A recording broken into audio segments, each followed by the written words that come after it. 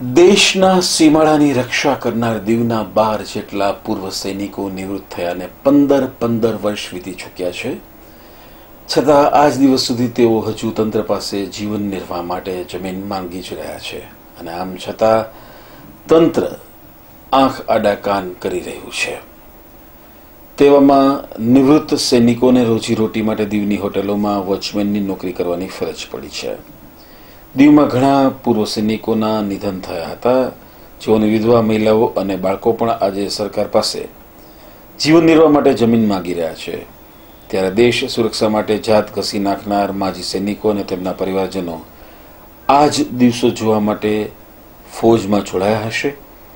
તે પણ એક સવાલ લોકોમાં ઉઠવા પામ્યો છે. અહેવાલ ભરતસિંહ જાદવ સોમનાથ. બાવીસ વર્ષ પંદર દિવસ નોકરી કરી કઈ કઈ મહિલું નથી. ઈ પણ ધક્કા ખાઈ ખાઈને મરી ગયા. બહુ ઓલું કર્યો અત્યારે અમારા પાંચ પાંચ ચાર ચાર છોકરા છે. અમે લીલીને ભરા ભરીએ છે. સરકાર પાસે હું માંગુ છે તમારી? જમીન માંગીએ છે. છોકરા એટલે કઈ અત્યારે તો નાના છોકરીઓ મારી ત્રણ છે એક છોકરો છે ચાર છોકરા છે. ભરોઠી રહીએ ચાર ચાર પાંચ પાંચ હજાર અમે ક્યાંથી ભરીએ? એક અમારું પેન્સિલ આવે એ જ બસ. અરે એ તકલીફ તો બહુ પડે ભાઈ હવે, પણ શું હવે કરીએ? છોકરા. કોઈ નથી સાંભળતું ભાઈ, બહુ ધક્કા ખાધા અમારા ધણી જીવતા હતા, એ બિચારા એ બહુ ધક્કા ખાધા તેર, ચૌદ વર્ષ. મળી ગયા એને પાંચ વર્ષ થઈ ગયા. મળશે મળશે, પણ ક્યારે મળે? અટાણે પાછા ના પાડે. હસબન્ડ હતા. સત્તર વર્ષ નોકરીને કરીને આવી ગયા. દસ વર્ષ રિટાયર થતા થયા. પણ હજી સરકાર અમને કઈ કોઈ જાતનું નિવારણ આપતો નથી. એ લોકોની પાસે જમીન એટલી છે, બાકી અમારી સરકારમાં આપવા માટે, સરકારી માણસ માટે જમીન નથી.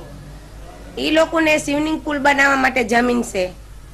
કઈ બીજા નાના મોટા ક્વાર્ટર્સ બનાવવા માટે જમીન છે. નાની મોટી નોકરી કરે છે એ લોકોને જમીન આપી શકે અમને નથી આપી શકતા કોણ, અમારું કોઈ પૂછતું જ નથી. અમે જાય કે અમે ભરોટી રે ચાર ચાર હજાર રૂપિયા કિરાયા અમે ભરીએ હમ? અમે છોકરાને ભણાવીએ ભણાવીએ ભણા ભરીએ કે છોકરાઓને ખવડાવીએ? અમે શું કરીએ? તમે વિચાર કરો. અમે સરકારની પાસે બોલી બોલીને અમે થાકી ગયા ચાલી ચાલીને અમારા પગ થાકી ગયા પણ કોઈ અમારું સુનતું નથી.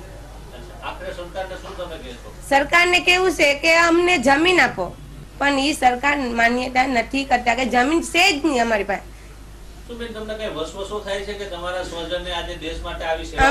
અમારા હસબન્ડે સેવા બહુ જ કરી દેશ માટે રક્ષા કરીને આવે પણ અહીંયા કોઈ માનતું નથી. અમને કોઈ જાતની સુવિધા મળતી નથી. ના તો અમારા પરિવારને કોઈ આવીને પૂછે કે તમે આર્મી મેન છે કે શું છે કાંઈ કોઈ નથી પૂછતું. ખાલી અમે સરકાર સરકારમાં અમારા હસબન્ડ હતા ત્યાં જ સુધી જ પૂછ્યું બાકી કાંઈ સેવા નથી અમારા માટે हमारे पास कुछ डिमांड आई है ज़मीन की कि हमारे को रेजिडेंशियल यूज़ के लिए ज़मीन दी जाए ये चीज़ अ, आपको जैसे पता ही है कि दीव का जो क्षेत्रफल है वो सिर्फ 40 स्क्वायर किलोमीटर है तो उसके अंदर हमारे डेवलपमेंटल वर्क के लिए ही हमारे को ज़मीन की थोड़ी सी कमी है हालांकि फिर भी हमने इस चीज़ को एक पॉजिटिव तरीके से लेने की कोशिश करी और हमारे डिपार्टमेंट में ये चीज़ एनालाइज करी जा रही है। इसका जो भी निर्णय आएगा, वो हम इन भूतपूर्व सैनिकों को इंटीमेट कर देंगे। एप्लीकेशन दी है, वो सात तीन 2016 की है। इसी साल मार्च में आई थी हमारे पास ये एप्लीकेशन ये एप्लीकेशन 12 लोगों के द्वारा साइन करी गई है। तो इस एप्लीकेशन के प्रमाण से 12 लोगों की डिमांड है कि ज़मीन उनको रेजिडेंशियल पर्पज़ के लिए दी जाए।